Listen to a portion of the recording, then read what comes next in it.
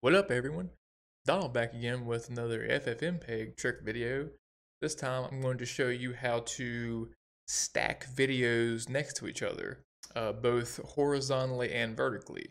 This would be useful if you want to make a comparison. So let's say you have a some raw footage that you haven't processed or edited, edited, how you talk, and a uh, version of it that you've done some kind of processing to, and you basically want them to both play in the same video so you can see what the difference is like. Uh, that's what I'm going to show you how to do today. Uh, before we get started, if you enjoy my content, me subscribe to help support the channel. Really appreciate it. With that, let's move on over to my terminal.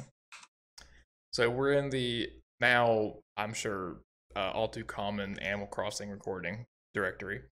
And um, I thought maybe something that would be useful is if I use this method to create comparisons of the original clip that I extracted and the processed version of the clip. And I've already created these, but I'm going to show you the commands I use to create them and I will explain what is happening. So let me flip through my history. Uh, let's see. That's not what I'm looking for. What am I looking for? This is what I'm looking for? E almost.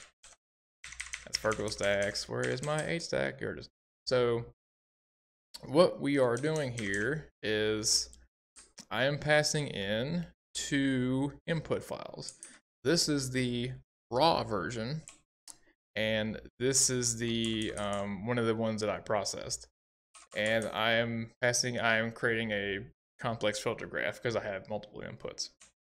And we the, the filter we are using to achieve this, this horizontally stacked effect is uh, plainly named H-stack, meaning horizontal stack.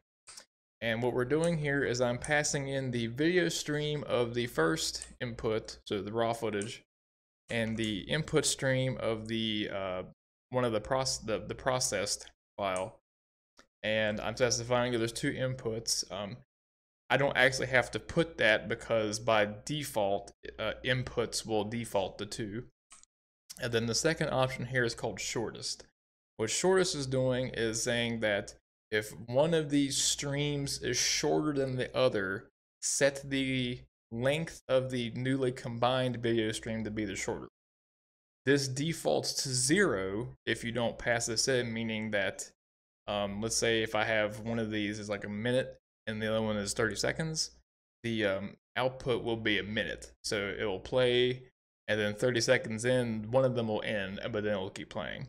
Uh, but I wanted the I wanted to stop when the shorter one's done, and then I label the newly created video stream out V, and then I'm just mapping that newly created video stream to the um, output file.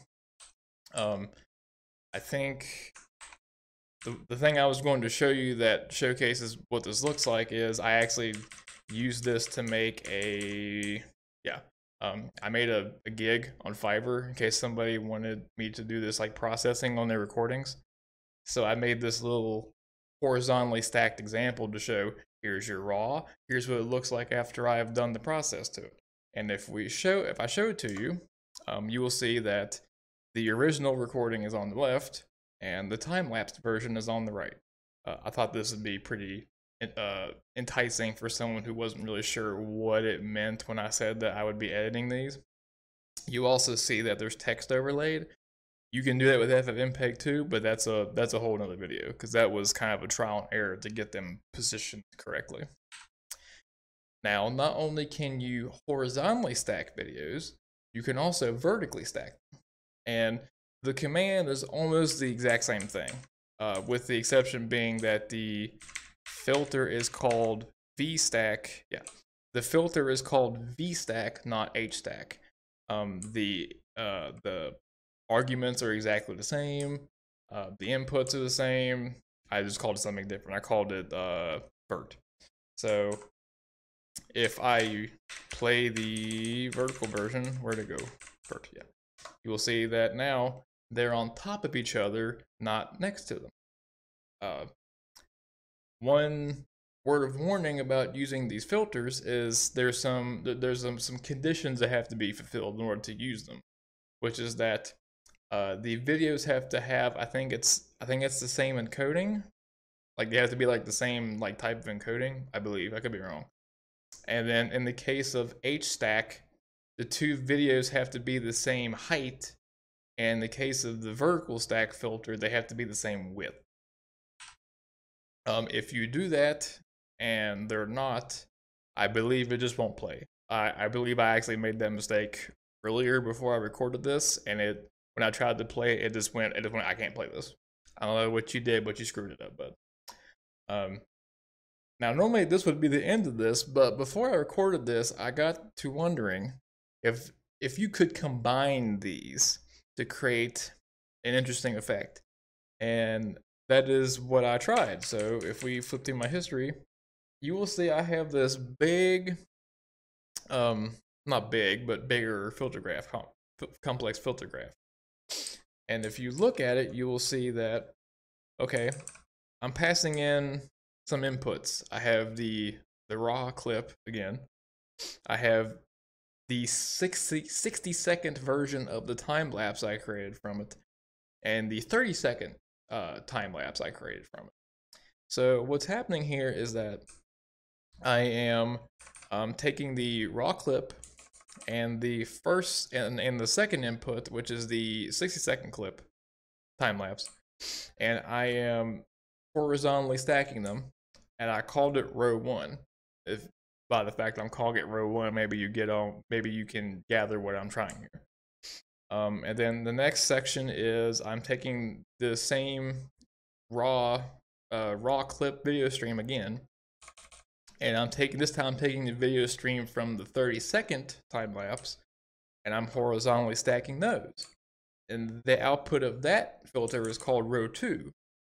And then finally, I thought, well, let's see if I can vertically vertically stack the horizontally stacked streams.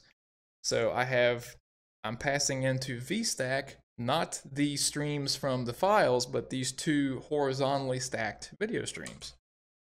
And you'll see that, you know, pretty much all the options are always the same. Um, and then I called this, I called it double stack. Now, I wasn't really sure what this would do. Um, for all I knew, I thought it would just break and not work. But I got a very interesting effect from it, which is um, when this is played, uh, you will see that what is essentially happening is we have four videos kind of playing in what appears to be like a four by uh not a four two by two grid. So we play this, and uh, this is I thought hey this is actually pretty interesting. Um, I don't think I have a particular use case for this, but I thought just as a little simple little mad scientist experiment, why not see if this works? And by God, if it did. Uh, so there you go. If you, for whatever reason, wanted to create a 2x2 grid of videos playing all at the same time, that is how you would do it. And with that, I believe that is all I have for this particular trick. Um, if you if this helped at all, if you liked the video, if you liked my channel so far, drop me a like, subscribe, if you have any questions or any opinions about uh, this trick, uh, comment down below. Uh, down below, I also have some social links if you want to follow me on Discord, Twitter, a couple other things. Um, if you would like to support the channel, which I'd be uh, extremely grateful if you did, uh, there's some links down below to do that as well. Uh, I want to, I think tomorrow I'm going to have a video about how to We'll do some audio stuff. I'm not sure what, but I'm maybe trying to focus a little more on some of the audio aspects of this. I think I might do uh, how to resync a desynced video uh, because I did recently learn how to do that. So I think that would actually be a good video. Uh, okay. Uh, in case you haven't realized, I'm kind of just stalling at this point because I ran short of this one. Um, if uh, again, if you have any questions about uh, how to do any of this stuff, uh, just comment down below. Um, with that, y'all come on back now, and I'll see you next time.